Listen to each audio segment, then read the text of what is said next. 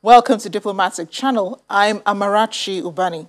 This week, our focus is on the United Nations as it turns 76 this year.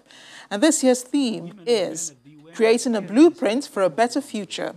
The theme for UN Day Nigeria is Building Resilience Through Hope to Recover from COVID-19, Rebuild Sustainably and Respond to the Needs of the Planet.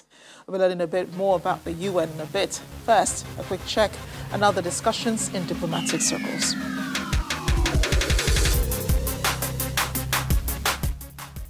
The Socio-Economic Rights and Accountability Project SERAP says the prosecutor of the International Criminal Court is set to seek authorization from the pre-trial chamber of the court to open an investigation into cases of abduction of school children in several parts of northern Nigeria.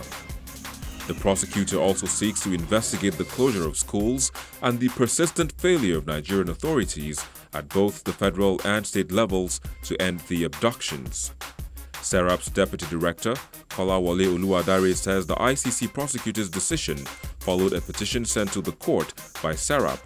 SERAP had in the petition dated September 4, 2021, urged the ICC prosecutor Karim Khan to push for those suspected to be responsible and complicit in the commission of these serious crimes to be invited and tried by the ICC.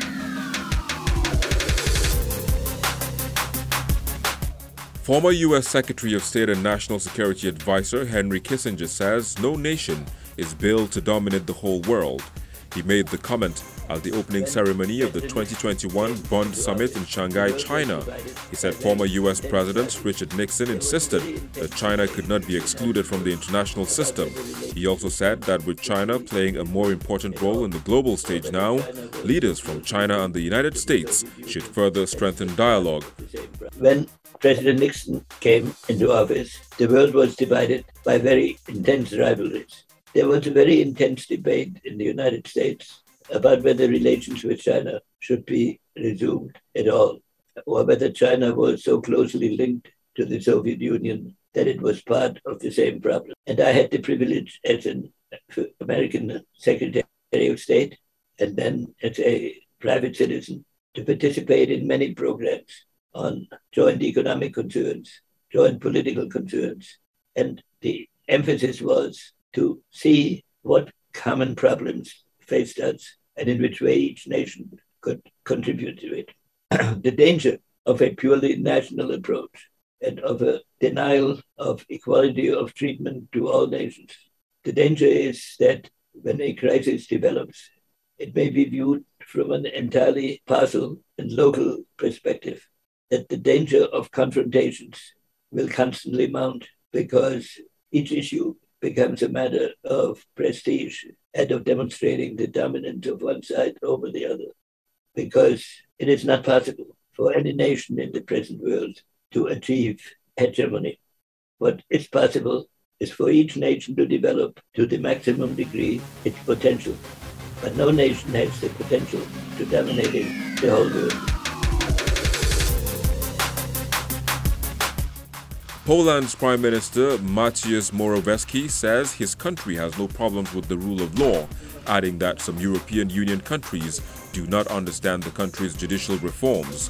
During a news conference in Brussels after a European Council summit where Poland's adherence to rule of law was discussed, Morawiecki added that the European Union has large competences, but these were not boundless, and that the bloc could only function within those assigned competences. Long-running tensions between Poland's ruling nationalist and the bloc's liberal majority have spiked since Poland's constitutional tribunal ruled this month that elements of EU law were incompatible with the country's charter, challenging a central tenet of EU integration.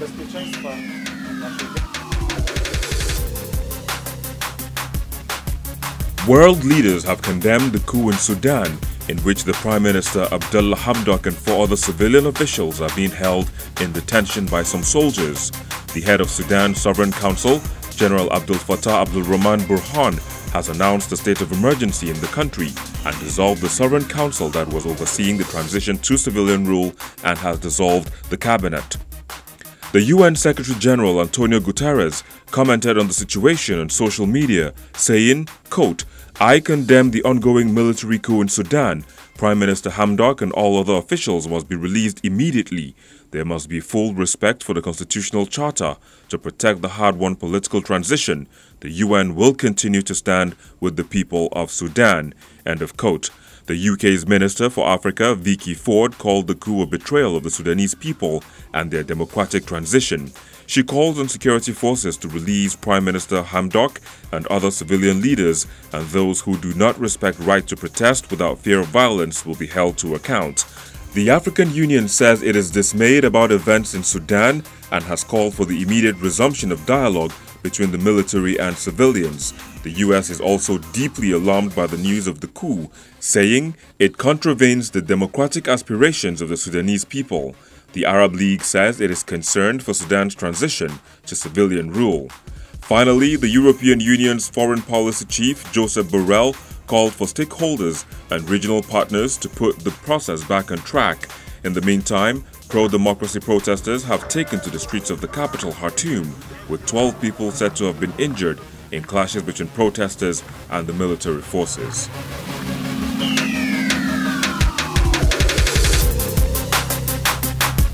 Sunday, October 24th was United Nations Day, an annual commemorative day reflecting the official creation of the United Nations on October 24, 1945. This year, the UN turned 76. Indeed, it's been 76 years of the United Nations born out of the League of Nations, which began in 1919 with 48 countries. World War II was an eye opener to the fact that a stronger union was needed following the devastation of cities and millions of people dead from the war, art and culture stolen or lost, and atrocities that violated basic human rights that shook the world. The United Nations arose from the chaos and was developed as a place where the world's nations could gather, discuss common problems, and find shared resolutions, with peacekeeping as the priority. Today, the UN's 193 members, including the United States, are bound by the UN Charter with goals to save succeeding generations from the scourge of war, reaffirm faith in fundamental human rights, establish conditions on international justice, and promote social progress and better standards of life. It tries to fulfill these goals through its several agencies, some of which are the International Labour Organization, the World Health Organization, the Children's Fund, UNICEF, the World Food Programme, and the Refugee Agency, better known as the UNHCR, among others. While the United Nations has been hailed as a great organization, it is not without its challenges, and that's because, as you will agree, today's issues are complex. Climate change continues to be a hot button topic, and as the UN calls world leaders to commit re to reducing greenhouse gases to save our planet, a COVID-19 pandemic has reduced populations and devastated economies. It still threatens global health as vaccine distribution is yet to meet its targets conflicts, hunger, and displacement cannot be ignored. However, as the Secretary General, Antonio Guterres, would tell you, the UN remains the only organization in a better position to effect change on a global scale. 76 years ago, the United Nations was created as a vehicle of hope for a world emerging from the shadow of a catastrophic conflict. Today, the women and men of the UN carry this hope forward around the globe. COVID 19, conflicts, hunger, poverty, and the climate emergency remind us that our world is far from perfect. But they also make clear that solidarity is the only way forward. We need to come together to tackle great challenges and advance the Sustainable Development Goals. By ensuring that every person, everywhere, has access to COVID 19 vaccines sooner rather than later. By securing and upholding the rights and dignity of all people especially the poorest and most disadvantaged girls and women and children and young people, by seeking an end to the conflicts that scar our world, by making bold climate commitments to save our planet and living up to them, and by building global governance that is more inclusive, networked, and effective, as detailed in my recent report, Our Common Agenda. The values that have powered the UN Charter for the last 76 years peace, development, human rights, and opportunity for all have no expiry date. As we mark UN Day, let's unite behind these ideals and live up to the full promise, potential, and hope of the United Nations. Joining me now is the UNICEF representative in Nigeria, Peter Hawkins. Before his appointment to Nigeria in May 2019, Mr. Hawkins was UNICEF representative in Iraq between September 2015 and April 2019. Prior to that, he worked with the UK's Department for International Development and international charity Save the Children. He joins me now from our studio in Abuja. Peter Hawkins, thank you for joining me on the program today. 76 years of the United Nations, what would you say is behind the global organization's longevity despite changing global challenges? As you've said, it's 76 years, 1945, since the creation of the United Nations. I think its longevity is, is about how it's been able to adapt. It's been able to adapt based on four principles human rights, peace, development, and uh, adapt. Uh, uh, uh, helping people to uh, seek their own opportunities. And it's that opportunity that has allowed the United Nations to shift a little bit to understand better what people want to do and how it can take that uh, agenda forward. I think secondly is also, we, we used to have the MDGs, um, and then now we have the uh, Sustainable Development Goals. Uh, this was developed in actual fact mainly uh, through uh, the, the office of the Deputy Secretary General, and Amina Mohammed herself was uh, one of the main co-authors of the uh, SDGs. and that has allowed the UN to adapt and to move forward with its developmental agenda. The theme for the day, the UN Day that is here in Nigeria, is building resilience through hope to recover from COVID-19, rebuild sustainably, and respond to the needs of the planet. Could you unpack that for our viewers? What, what it's trying to do, I mean, COVID-19 is, is not over yet, but here in Nigeria, it's not only respond to the outbreak, but look at some of the underlying issues that uh, have, have affected the economic and social fabric of this country. So it's trying to build resilience within Nigeria, build uh, the, the economy, the, uh, look at uh, different areas that uh, the United Nations can support Nigeria on. The economic downturn, which is uh, an international phenomenon which is directly impacting uh, Nigeria, especially with the oil prices and, and so on. 105 million people are now um, in, under the in, in poverty. And it's looking at, say, for example, UNDP, at, at the economic situation and how we can support Nigeria better, Um, other organizations around food, FAO, around health, WHO and UNICEF, uh, and so on and so forth, to try and build the resilience to be able to recover uh, in, in the end. And how is the UN helping Nigeria recover from COVID 19? Well, it, it, it's, it's very much that. The first and foremost is, is addressing the pandemic, uh, working with the presidential task force and, and, now the, the uh, uh ministries as well to try and ensure that at uh, state level, at LGA level, and at ward level, people understand the dynamic of the uh, COVID-19 uh, um, problem um, and trying to look at and understand what they can do. So wearing masks, uh, socially distancing, uh, and washing of hands. And at state level, there's a lot that's being done by the United Nations with the relevant state authorities, with traditional leaders, with um, the, the religious leaders to, for the communities to understand that. Secondly, there's the vaccine, which is uh, one thing, and, and, we'll come back to that later, I'm sure, uh, but also uh, the social fabric. One of the problems with uh, situation of this kind is gender-based violence is on the increase uh, in, in, inside the communities. So making gender-based violence uh, uh, uh, an issue of emergency in the country, which His Excellency uh, President Buhari was able to do, and now it's replicated at state level, has ensured that any attack on young girls uh, in the house or within the community will be looked at and will Uh, be, be, taken to the uh, proper uh, jurisdiction and the girls protected and helped in their own way. My conversation with Mr. Hawkins gives continues after the break. Please stay with us. Your work incidentally involves children. How do you think they have been impacted by COVID 19 in Nigeria? Children have, as always, whether it's conflict or, or a, a virus of this nature, uh, the unintended consequences are very severe on children.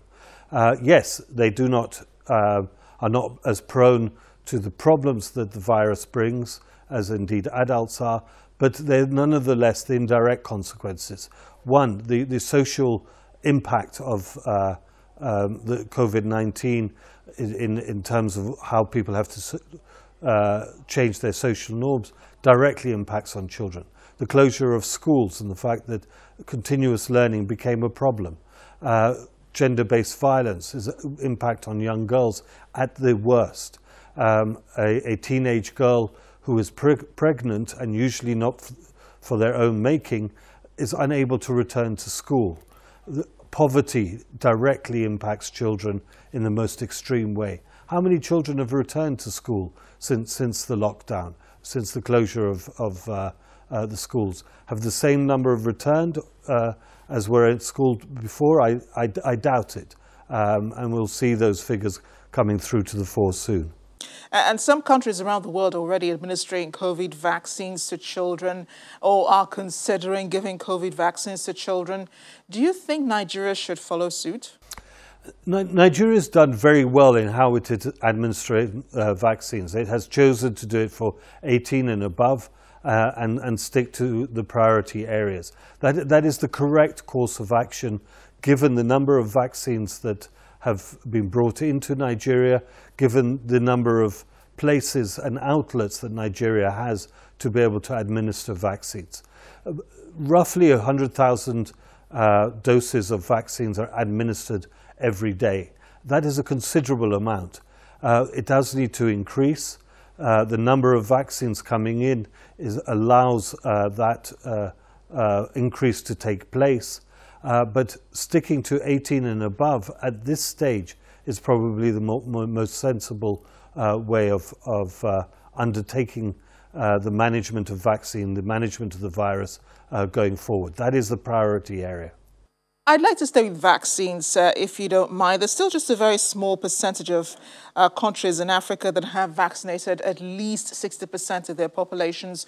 What do you think is the main problem here? Vaccine availability or acquisition?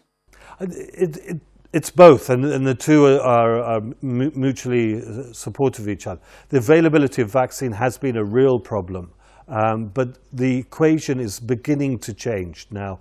Uh, and say, for example, Nigeria received the first 4 million vaccines on the 2nd of March, and then it was a long time before it received the second uh, shipment of vaccines. But now the shipments of vaccines are coming in at a more regular rate um, and increasing substantially bit by bit. Over the next few months, uh, Nigeria should receive sufficient number of vaccines uh, to shift the problem to will we be able to use them all uh, effectively.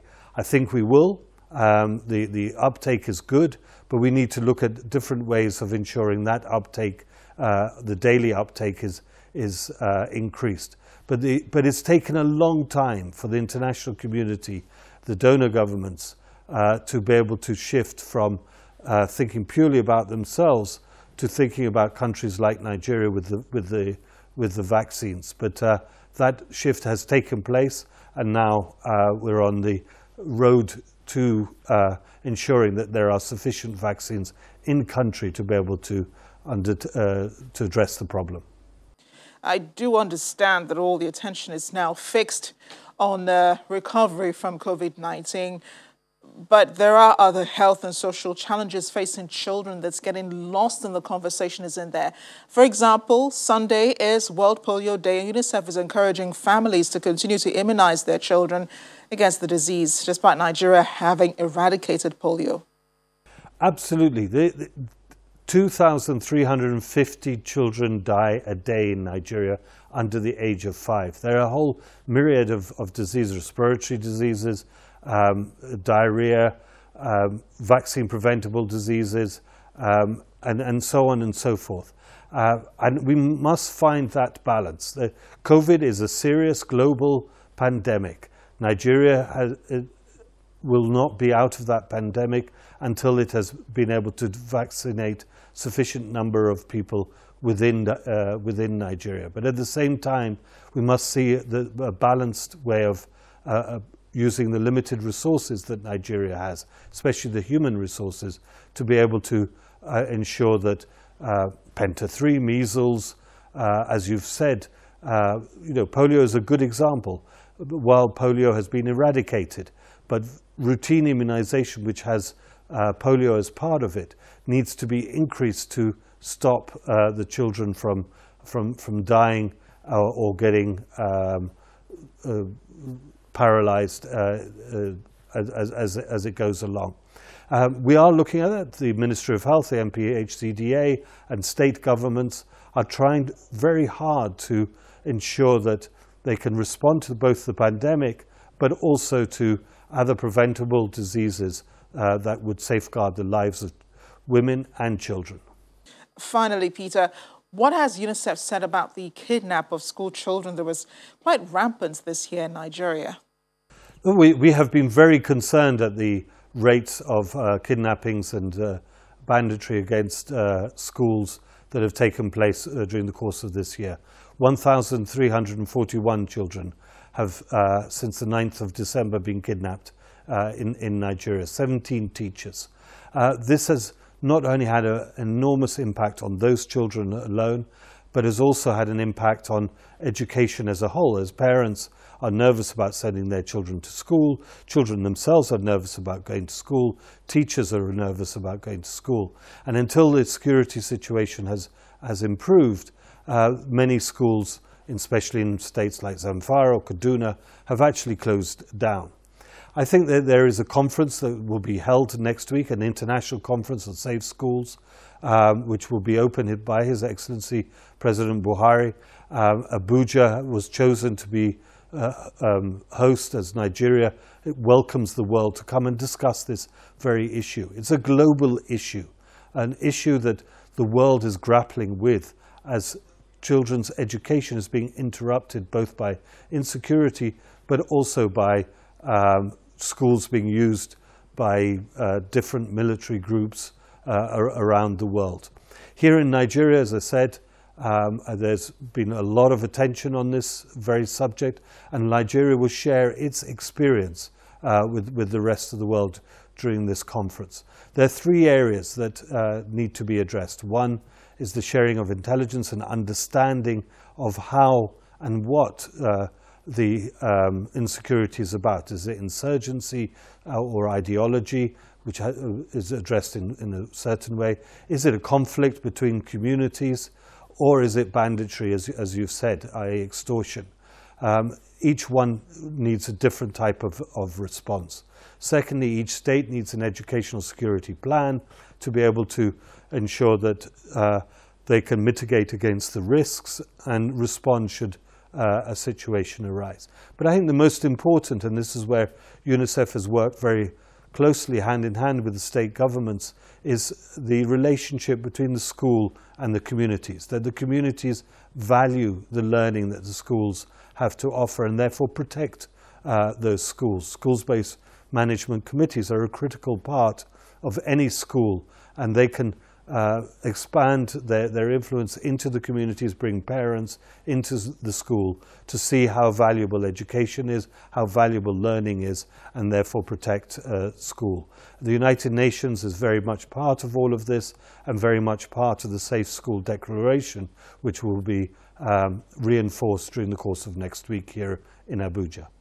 Thanks again, Peter Hawkins, for speaking with me on Diplomatic Channel. You're very welcome and thank you very much and happy UN Day. This is where we end the program this week. Don't forget you can watch previous editions again on our YouTube page. Just go to youtube.com slash channels web. Look through the playlist for Diplomatic Channel. I'm Amarachi Ubani. I'll see you next time.